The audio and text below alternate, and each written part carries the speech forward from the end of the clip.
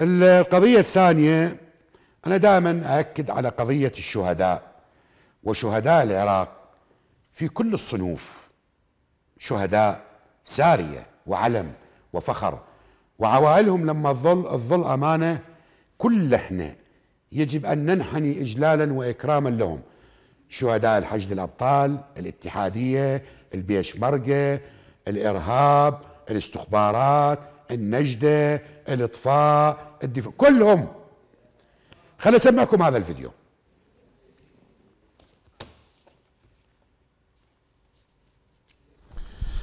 بسم الله الرحمن الرحيم.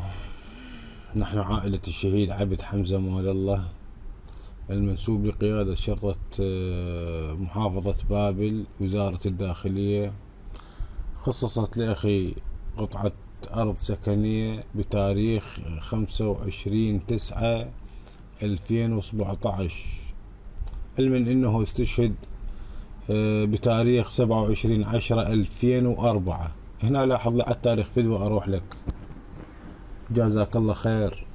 يلي أتمنى توصل, توصل صوتي إلى رئيس الوزراء المحترم وزيرة الإسكان والإعمار المحترم وتشوف المصيبة اللي إحنا بيها من خلال البلديات في بابل وبالتحديد بلدية قضاء القاسم. قلنا خصصت لنا القطعة بتاريخ 25 9 2017 وبعد مراجعتنا إلى البلدية المذكورة أعلاه رفضوا تسجيل القطع لنا ول 28 شهيد. بحجة أن القطع أو المحور تجاري. هسه هنا إحنا سألناهم يابا إذا تجاري أنتم ما عندنا ذنب إحنا أنتم اللي خصصوا إذا تدرون بالتجار ليش تخصصوا الشهداء وتورطوهم؟ كان جوابهم والله غلط من الموظف. هسه الغلط من الموظف يتحمل يتحمل أيتام الشهداء. آه، ما شفنا موظف تعاقب أو حوسب أو بعدين ورا مراجعة قالوا مدير بلدية القاسم شرد التركيا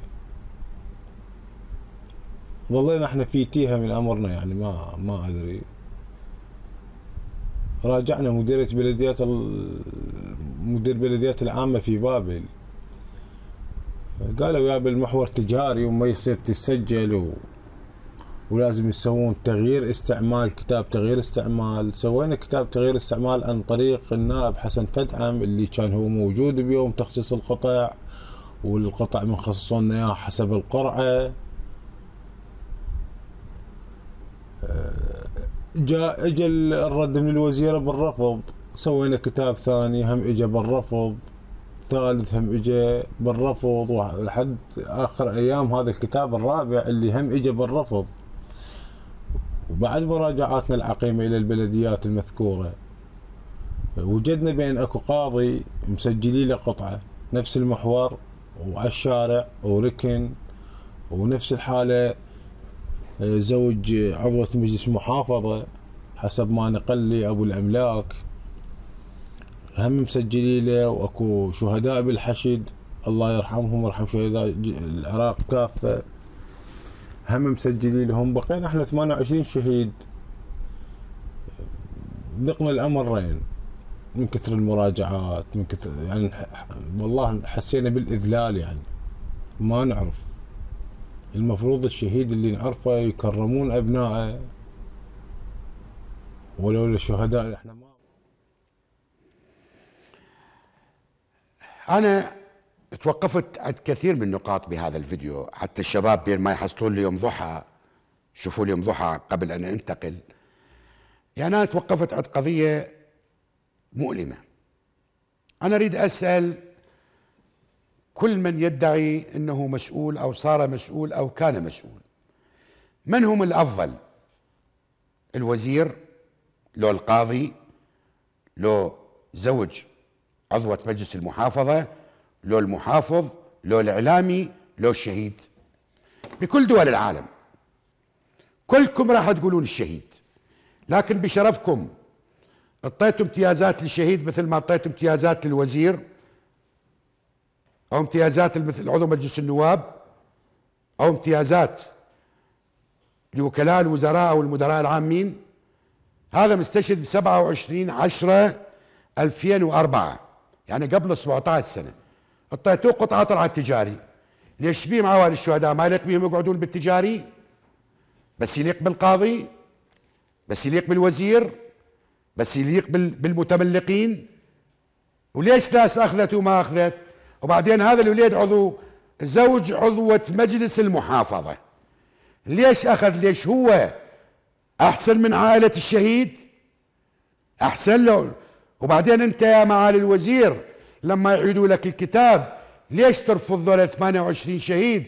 راحوا حتى تظل أنت وزير أو حتى ظل أنا على على بالتلفزيون أو حتى يظل الرئيس يحكم أو حتى يظلون الولد يبوقون. مو؟ ليش ما ياخذ بالتجاري معالي الوزير؟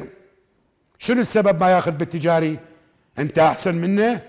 ولما رفضته أنا ما فعلا ما أعرف. لما رفضته هاي القطعة ما تروح إلى مواطن؟ لو هاي القطعة فقط للذين آمنوا وعملوا الصالحات. إذا كان فهو أشد إيمانا منكم ومنا. ليش ما تعطوه اياه هو لو الآن أكو واحد يسمع صوت هذا عوالي الشهداء اللي أنتم تشوفونه الآن من منطقة من هيئته من شكله. ذولا ناس متعففين ناس اطوا دم للوطن. ما يستحق إنه تطونه على التجاري.